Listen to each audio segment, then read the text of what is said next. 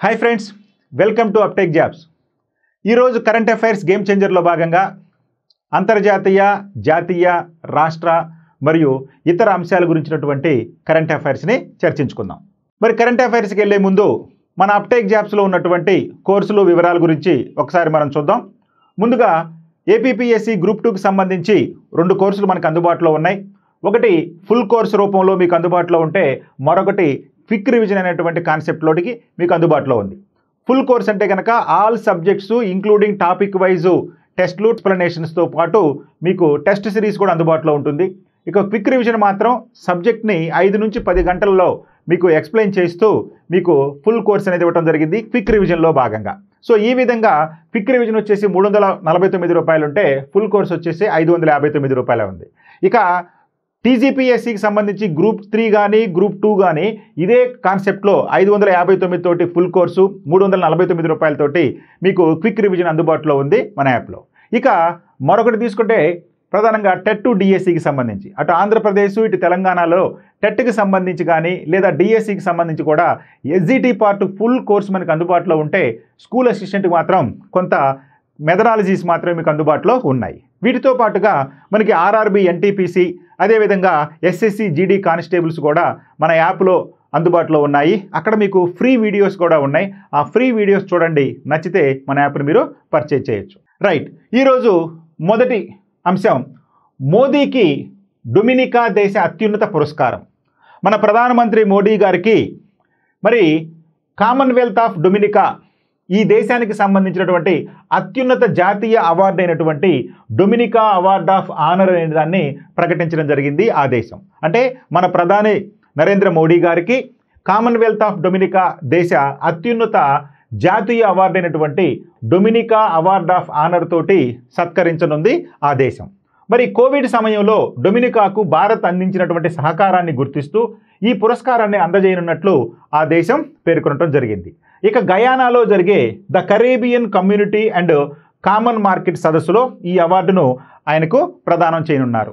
So ఈ విధంగా Caribbean దీవులకు ఇదిగో డొమినికా దేశానికి సంబంధించినటువంటి మ్యాప్. ఎక్కడుందండి డొమినికా అంటే చూడండి ఇది మధ్య అమెరికాలో ఉన్నటువంటి ఒక చిన్న ద్వీపఖండం.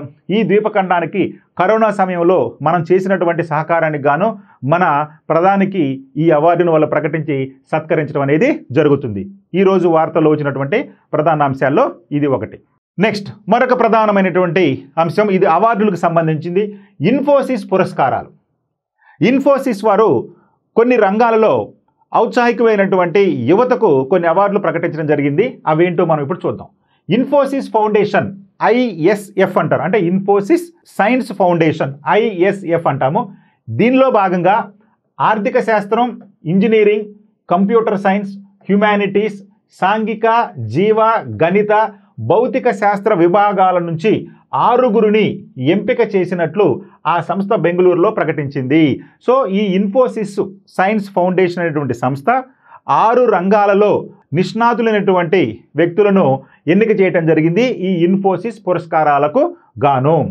అవార్డుకు ఎంపికైనటువంటి వారు అందరూ కూడా నలభై ఏళ్ళలోపు వారేనని ఈ యొక్క ఐఎస్ఎఫ్ అంటే ఇన్ఫోసిస్ సైన్స్ ఫౌండేషన్ అధ్యక్షుడైనటువంటి క్రిస్ గోపాలకృష్ణన్ తెలిపారు. సో ఈ అవార్డుకి ఎవరైతే ఎంపికయ్యారో ఈ రంగాల నుంచి వాళ్ళందరూ కూడా నలభై సంవత్సరాల లోపు వాళ్ళే.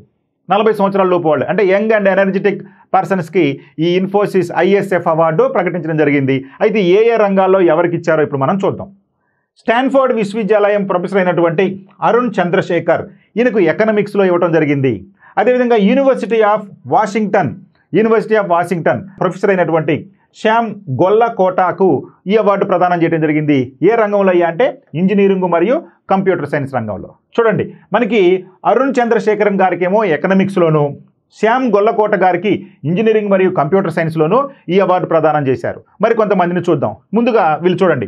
శ్యామ్ గొల్లకోట అదేవిధంగా అరుణ్ చంద్రశేఖరన్ వీరిద్దరికి కూడా ఈ యొక్క ఐఎస్ఎఫ్ అవార్డులు అనేవి ప్రదానం చేయటం జరుగుతుంది. ఇక యూనివర్సిటీ ఆఫ్ ఎడిన్బరో ఆచార్యుడైనటువంటి మహమ్మద్ కురియా. ఈయనకు హ్యుమానిటీస్ అండ్ సోషల్ సైన్స్లోను అదేవిధంగా పూణేలోని Indian institute of science education and research associate professor అయినటువంటి సిద్ధేష్ కామత్. ఈయనకు లైఫ్ సైన్స్లోను అదేవిధంగా ఇండియన్ స్టాటిస్టికల్ ఇన్స్టిట్యూట్ కోల్కతాకి సంబంధించి అయినటువంటి ఆచార్యులైనటువంటి నీనా గుప్తా గారికి మ్యాథమెటికల్ సైన్స్లోను అదేవిధంగా స్టాన్ఫోర్డ్ విశ్వవిద్యాలయం అసోసియేట్ ప్రొఫెసర్ అయినటువంటి వేదిక కీమానీకి భౌతిక శాస్త్రంలోనూ ఈ అవార్డులను ఎంపిక చేయడం అనేది జరిగింది. చూడండి ఇందులో ఆరుగురులో ఇద్దరు మహిళలు కూడా ఉన్నారు. సో ఇక్కడ మహమ్మద్ కురియా అదేవిధంగా నీనా గుప్తా అదేవిధంగా సిద్ధేశ్ కామత్ అదేవిధంగా వేదిక కీమాని. ఈ ఆరుగురికి ఈ యొక్క అత్యున్నతమైనటువంటి ఇన్ఫోసిస్ పురస్కారాలు ఐఎస్ఎఫ్ పురస్కారాలను వివిధ రంగాలు అంటే వారి యొక్క రంగాల్లో అందించడం జరిగింది. ఇది మరొక ప్రధానమైనటువంటి వార్త ఈరోజు మనకి పేపర్లో ఉన్నటువంటి అంశాల్లో. నెక్స్ట్ మరొక ప్రధానమైన అంశం. ఆదిత్య బిర్లా గ్రూప్తో ఏపీ చేనేత జౌలి శాఖ ఒప్పందం. చేనేత జౌలి శాఖ ఒప్పందం. ఎవరితోటండి ఆదిత్య బిర్లా గ్రూప్ తోటి. మరి ఈ యొక్క చేనేత జౌలి శాఖ హ్యాండీక్రాఫ్ట్స్ ఉన్నాయి కదా? హ్యాండీక్రాఫ్ట్స్కి సంబంధించి మన ఆంధ్రప్రదేశ్ ప్రభుత్వం ఆదిత్య బిర్లా గ్రూప్ తోటి ఒప్పందం చేసుకుంది. మరి ఆంధ్రప్రదేశ్ సంబంధించి ఎవరండి? చేనేత మరియు జౌలి శాఖ. అయితే చూడండి ఆదిత్య బిర్లా గ్రూపునకు చెందిన ఆద్యం హ్యాండ్ ఓవెన్తో కలిసి పనిచేసేందుకు చేనేత జౌలి శాఖ ఒక ఒప్పందాన్ని కుదుర్చుకుంది. సో ఆంధ్రప్రదేశ్కి సంబంధించిన చేనేత జౌలి శాఖ ఎవరితో ఒప్పందం చేసుకుందయ్యా అంటే ఆదిత్య బిర్లా గ్రూప్కు చెందినటువంటి ఆద్యం హ్యాండ్ ఓవెన్ తోటి ఆద్యం అనేటువంటి అంటే ఆదిత్య బిర్లా గ్రూప్కి సంబంధించినటువంటి ఒక హ్యాండ్లూమ్ సంస్థే ఈ యొక్క ఆద్యం. ఈ ఆద్యంతో మన ఆంధ్రప్రదేశ్ చేనేత జౌలి శాఖ ఒప్పందం కుదుర్చుకుంది. దీంట్లో బాగా చూడండి. దీనికి సంబంధించిన అవగాహన ఒప్పందాలను ఆ సంస్థ ప్రతినిధి అయినటువంటి మనీష్ చేనేత జౌలి శాఖ రాష్ట్ర కమిషనర్ అయినటువంటి రేఖా రాణి మధ్య ఈ ఒప్పందం అనేది కుదిరింది. ఆదిత్య బిర్లా గ్రూప్ ప్రస్తుతం దేశంలోని వారణాసి పోచంపల్లి భుజ్ ప్రాంతాల్లోని నేత సంఘాలతో కలిసి పనిచేస్తుంది. ఈ ఒప్పందం ఫలితంగా కార్మికులకు నిరంతరం పని దొరుకుతుందని మరి పేర్కొనటం జరిగింది. అయితే ఇక్కడ మీరు గుర్తుపెట్టుకోవాలి. ఈ యొక్క ఆదిత్య బిర్లా వాళ్ళు ఆద్యం అనేటువంటి ఈ యొక్క పేరుతోటి చేనేత జౌలి శాఖలతోటి వివిధ రాష్ట్రాలతోటి ఒప్పందం చేసుకోవడం జరుగుతుంది. అందులో భాగంగానే మనం పోచంపల్లి తెలంగాణలోని పోచంపల్లి అదేవిధంగా వారణాసి ఇవి రెండు కూడా ఈ యొక్క కాటన్ పరిశ్రమకు లేదా జౌలి పరిశ్రమకు ప్రసిద్ధి చెందిన ప్రాంతాలు అదేవిధంగా బుజ్జు ప్రాంతాల్లో ఉన్నటువంటి నేత సంఘాలతోటి కలిసి ఆల్రెడీ పనిచేయడం జరుగుతుంది. అదేవిధంగా మన ఆంధ్రప్రదేశ్లో ఉన్నటువంటి చేనేత జౌలి శాఖతో కూడా ఈ ఒప్పందం కుదుర్చుకోవడం వల్ల ఈ శాఖ మీద ఆధారపడి ఉన్నటువంటి వారికి పని దొరుకుతుందని అదేవిధంగా వాళ్ళకి మార్కెట్ సౌకర్యాలు కూడా బాగా పెరుగుతాయని చెప్పి ఈ ఒప్పందం ద్వారా మనకి తెలుస్తూ ఉంది. ఇక మరొక ప్రధానమైన అంశం ఇది ఢిల్లీకి సంబంధించి. ఢిల్లీలో అతిపెద్ద సర్కారీ పాఠశాల మనకి అతి పెద్ద గవర్నమెంట్ స్కూల్ని ఢిల్లీలో ఏర్పాటు చేయడం జరిగింది ఢిల్లీ ప్రభుత్వమే. అయితే ఆ స్కూల్ గురించి ఏందో చూద్దాం. విద్యార్థులకు నాణ్యమైన విద్యను అందించాలనేటువంటి సంకల్పంతో ఢిల్లీలోని సుందర్ నగర్లో బాలల దినోత్సవం సందర్భంగా అంతర్జాతీయ ప్రమాణాలతోటి అతి పెద్ద ప్రభుత్వ పాఠశాలను ఢిల్లీ ముఖ్యమంత్రి అయినటువంటి అతిశీ గారు ప్రారంభించడం జరిగింది. ఇది అతిపెద్ద పాఠశాల. మరి ఈ నూతన పాఠశాల లో ఏడు వేల మందికి పైగా పిల్లలు భవిష్యత్తును తీర్చిదిద్దుకోవచ్చని ఆమె ఈ సందర్భంగా అంటే ఏడు వేల మంది పిల్లలకు అనుకూలంగా అంటే ఏడు వేల మంది పిల్లలు చదువుకునే విధంగా అంత పెద్ద పాఠశాలను ఏర్పాటు చేయడం జరిగింది ఈ యొక్క ఢిల్లీ ప్రభుత్వం. అత్యాధునిక వసతులతో కూడినటువంటి ఈ స్కూలులో నూట ముప్పై ఒక్కటి తరగతి గదులు అంటే వన్ థర్టీ వన్ తరగతి గదులు ఏడు ప్రయోగశాలలు ఒక గ్రంథాలయం ఒక లెక్చర్ హాలు లిఫ్ట్ వంటి సౌకర్యాలు కూడా ఇందులో ఉన్నాయి అని చెప్పి పేర్కొనటం జరిగింది. సో కాబట్టి ఏడు వేల మంది పిల్లలకు సరిపోయిగా ఒక పెద్ద పాఠశాలను ఢిల్లీ ప్రభుత్వం ఈ ఇటీవల ఏర్పాటు చేసి ఈ యొక్క బాలల దినోత్సవం సందర్భంగా ప్రారంభించడం జరిగింది. ఇది అత్యంత ప్రధానమైన అంశం. స్కూల్ అంటే ఏడు వేల మంది పిల్లలకి సరిపడేంత పెద్ద స్కూల్ని ఏర్పాటు చేయడం జరిగింది ఢిల్లీ ప్రభుత్వం. ఈ మరొక అవార్డుకు సంబంధించి. చంద్రశేఖర్ ఆజాద్కు బాల సాహిత్యం పురస్కారం. ఎవరి చంద్రశేఖర్ ఆజాద్ ఆయనకి బాల సాహిత్యం అవార్డు అనేది దక్కింది కదా ఏంటో చూద్దాం. కేంద్ర సాహిత్య అకాడమీ రెండు వేల ఇరవై నాలుగు సంవత్సరానికి ప్రకటించిన బాల సాహిత్య పురస్కారాన్ని తెలుగు రచయితైనటువంటి పమిడి ముక్కల చంద్రశేఖర్ ఆజాద్ అందుకున్నారు. ఎవరిస్తారండి? ఈ బాల సాహిత్య అవార్డును అంటే కేంద్ర సాహిత్య అకాడమీ. అంటే కేంద్ర సాహిత్య అకాడమీ రెండు వేల ఇరవై నాలుగు గాను మనకి బాల సాహిత్య పురస్కారాన్ని అంటే చిన్నపిల్లలకి బాల సాహిత్య పురస్కారాన్ని తెలుగు రచయితైనటువంటి పమిడి ముక్కల చంద్రశేఖర్ ఆజాద్ అందుకున్నారు. మరి ఉత్తరప్రదేశ్ రాజధాని అయినటువంటి లక్నౌలో నిర్వహించినటువంటి కార్యక్రమంలో అకాడమీ చైర్మన్ అయినటువంటి మాధవ్ కౌశిక్ ఆయనకు ఈ అవార్డుతో పాటు యాభై వేల నగదు బహుమతి తామ్రపత్రం అందించి శాల్వాతో సత్కరించారు. ఎవరిని? ఆ యొక్క చంద్రశేఖర్ ఆజాద్ని. మరి చిన్నారుల జీవితాలపై ఆయన రాసిన మాయాలోకం చాలా ఇంపార్టెంట్. చిన్నారులపై అంటే బాలలకు సంబంధించి పిల్లలకు సంబంధించి వారి జీవితాలపై ఆయన రాసినటువంటి మాయాలోకం నవలకు అకాడమీ ఈ పురస్కారాన్ని ప్రకటించింది. గుర్తుపెట్టుకోవాలి. ఏ నవలకు గాను చంద్రశేఖర్ ఆజాద్ గారికి కేంద్ర సాహిత్య అకాడమీ రెండు వేల ఇరవై నాలుగు అవార్డు ప్రకటించిందంటే మాయాలోకం నవలకు. ఇప్పటి వరకు ఈయన ముప్పై నవలలు వందకు పైగా లఘు కథలు రాశారు. గతంలో నంది అవార్డు కళారత్న హంస పురస్కారాలను కూడా ఈయన పొందడం జరిగింది. ఈయనే రచయిత చంద్రశేఖర్ ఆజాద్ గారు. సో ఈ విధంగా శాలభతో సత్కరించి పిల్లలకు సంబంధించినటువంటి జీవితాలకు అంటే కథలు రాశారు కాబట్టి ఆయనకి ఈ అవార్డు ప్రదానం చేయడం జరిగింది. ఆయన రాసిన చూడండి మాయాలోకం. రైట్ మరొక ప్రధానమైనటువంటి సైన్స్ అండ్ టెక్నాలజీకి సంబంధించిన అంశంగా మీరు భావించవచ్చు. దీన్ని రైల్వే రక్షణ కొరకు కవచ్. అంటే రైల్వే యాక్సిడెంట్లు నివారించడం కోసం కవచ్ అనేటువంటి ఒక అధునాతమైన టెక్నాలజీని మన భారతీయ రైల్వేలు తీసుకురాబోతున్నాయి. వాటి గురించిన వివరాలు ఏంటో చూద్దాం. కవచ్ను యాంటీ కొలీజియన్ సిస్టమ్ అని కూడా పిలుస్తారు. Anti collision system. అంటే రెండు రైళ్ళు ఢీ కొనకుండా యాంటీ కొలీజియన్ సిస్టమ్ అని చెప్పి ఈ కవచ్ను ముద్దుగా పిలుస్తారు. రైళ్ళ భద్రతను పెంచడానికి పూర్తి స్వదేశీ సాంకేతిక పరిజ్ఞానంతో దీనిని రూపొందించడం జరిగింది. ఒకే ట్రాక్ పైన ఎదురెదురుగా వచ్చే రైళ్ళు ప్రమాదాలను నివారించటం వెనుక నుంచి వచ్చి రైలు ఢీకొనటం అతివేగం కారణంగా పట్టాలు తప్పటం ఎదురుగా వచ్చే వాటిని ఢీకొనాల్సిన పరిస్థితుల్లో ప్రమాదాలను నివారించే వ్యవస్థే ఈ కవచ్. అంటే ఈ కవచ్ అనేది ఎదురెదురుగా వచ్చే రైలు ఢీకొనకుండానే కాదండి వెనక నుంచి వచ్చి గుద్దుతున్నా లేదా అతివేగం కారణంగా పట్టాలు తప్పటం వలన కానీ లేదంటే గనక ఎదురుగా వచ్చే వాటిని ఢీకొనాల్సిన పరిస్థితుల్లో ప్రమాదాలను నివారించే విధంగా ఈ యొక్క కవచ్ అనేది రూపొందటం జరుగుతుంది. అంటే రైలు ప్రమాదాలను అరికట్టడమే ఈ కవచ్ యొక్క ప్రధాన ఉద్దేశం.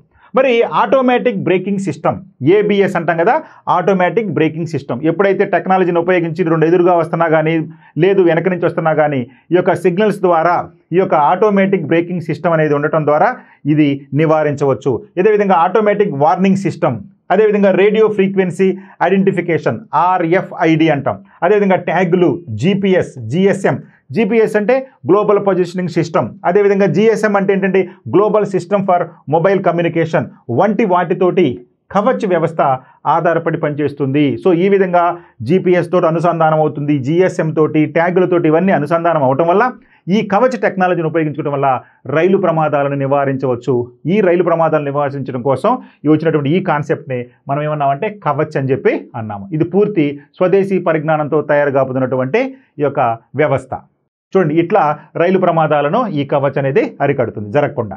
What is the required age to be elected as a MLA ఎమ్మెల్యేగా ఎన్నిక కావడానికి కావలసిన వయస్సు ఎంత? ఇది ఎందుకు వచ్చిందయ్యా అంటే నిన్న రేవంత్ రెడ్డి గారు బాల దినోత్సవం సందర్భంగా ఒక మాకు అసెంబ్లీ కండక్ట్ చేస్తే దాంట్లో ఒక ఈయన తన అభిప్రాయాన్ని వెళ్ళిపుచ్చడం జరిగింది. ఇరవై ఒక్క సంవత్సరాలకే కలెక్టర్లు అవుతున్నారు. జిల్లా మొత్తాన్ని పరిపాలిస్తున్నారు. అలాంటిది మనకి ఇరవై ఒక్క సంవత్సరానికే ఎమ్మెల్యే కావచ్చు కదా. అని చెప్పి ఆయన తన అభిప్రాయాన్ని వెలిపించడం జరిగింది. కాబట్టి ఇది వార్తల్లోకి వచ్చిందనే ఉద్దేశంతో ఈ ప్రశ్నను మనం తయారు చేయడం జరిగింది. అంటే ఎమ్మెల్యేగా ఎన్నిక కావడానికి కావలసిన వయస్సు ఎంత అని అన్నాడు. ఇవ్వండి పద్దెనిమిది సంవత్సరాలు ముప్పై సంవత్సరాలు ఇరవై ఒక్క సంవత్సరం ఇరవై ఐదు సంవత్సరాలు. ఎమ్మెల్యేగా ఎన్నిక కావడానికి కావలసిన వయసు ఇరవై ఐదు సంవత్సరాలు. ఓకేనండి? కాబట్టి రైట్ ఆన్సర్ ఇరవై ఐదు. మరి మన దేశంలో ఓటు హక్కు ఎప్పటికి వస్తుందండి మనకి? ఓటు హక్కు వచ్చేసరికి పద్దెనిమిది సంవత్సరాలకే ఓటు హక్కు వస్తుంది. సో ఓటు హక్కు పద్దెనిమిది సంవత్సరాలకే వస్తుంది. కానీ ఎమ్మెల్యేగా ఎన్నిక కావడానికి ఇరవై ఐదు సంవత్సరాలు పడుతుంది. అందుకని ఆయన అన్నాడు ఇరవై ఒక్క సంవత్సరాలకే ఎమ్మెల్యే కావచ్చు కదా వయసుకు మించవచ్చు కదా అని చెప్పి రేవంత్ రెడ్డి గారు తన అభిప్రాయాన్ని వెలుబుచ్చడం జరిగింది. అందుకని ఇది వార్తల్లోకి వచ్చింది. రైట్ మరొక ప్రశ్న. When is world diabetes day observed every year ప్రపంచ మధుమేహ దినోత్సవాన్ని ప్రతి సంవత్సరం ఎప్పుడు నిర్వహిస్తారు? ప్రపంచ మధుమేహ దినోత్సవం. అంటే మధుమేహ దినోత్సవం అంటే వరల్డ్ డయాబెటిస్ డే. మధుమేహాన్ని ఏమంటామండి మన తెలుగులో షుగర్ వ్యాధి అని కూడా అంటాం మనం. సో ఎప్పుడు ప్రపంచ మధుమేహ దినోత్సవాన్ని ప్రతి సంవత్సరం జరుపుకుంటారు లేదా నిర్వహిస్తారు. December one March twenty fourth November fourteenth and March sixteenth. మరి రైట్ ఆన్సర్ ఏంటండి? రైట్ ఆన్సర్ తీసుకుంటే November fourteenth. So every year November fourteenth we can observe the మనకి world diabetes day. World diabetes day ప్రపంచ మధుమేహ దినోత్సవాన్ని ప్రతి సంవత్సరం November పద్నాలుగున జరుపుకుంటారు. మరి డిసెంబర్ ఒకటిన ఏం జరుపుకుంటారండి? ప్రపంచ ఎయిడ్స్ దినోత్సవాన్ని జరుపుకుంటారు. మరి ఇరవై నాలుగో తారీఖున ఏం జరుపుకుంటారండి? మార్చి ఇరవై నాలుగో తారీఖు ఏం జరుపుకుంటారండి? మార్చి ఇరవై నాలుగోది వచ్చేసి ట్యూబర్ కిలోసిస్ టీబీ దినోత్సవం అంటాం కదా? ట్యూబర్ కిలోసిస్ డేగా మార్చి ఇరవై నాలుగును. సిక్స్టీన్త్ మార్చ్ ఏం చేస్తారండి? సిక్స్టీన్త్ మార్చ్ వచ్చేసరికి national immunisation day. So national immunisation day అని చెప్పి మనకి మార్చి ఆరు పదహారో తారీఖున నిర్వహించడం జరుగుతుంది. సో కాబట్టి ఇక్కడ అడిగిన ప్రశ్నకు రైట్ ఆన్సర్ నవంబర్ పద్నాలుగు. Thank you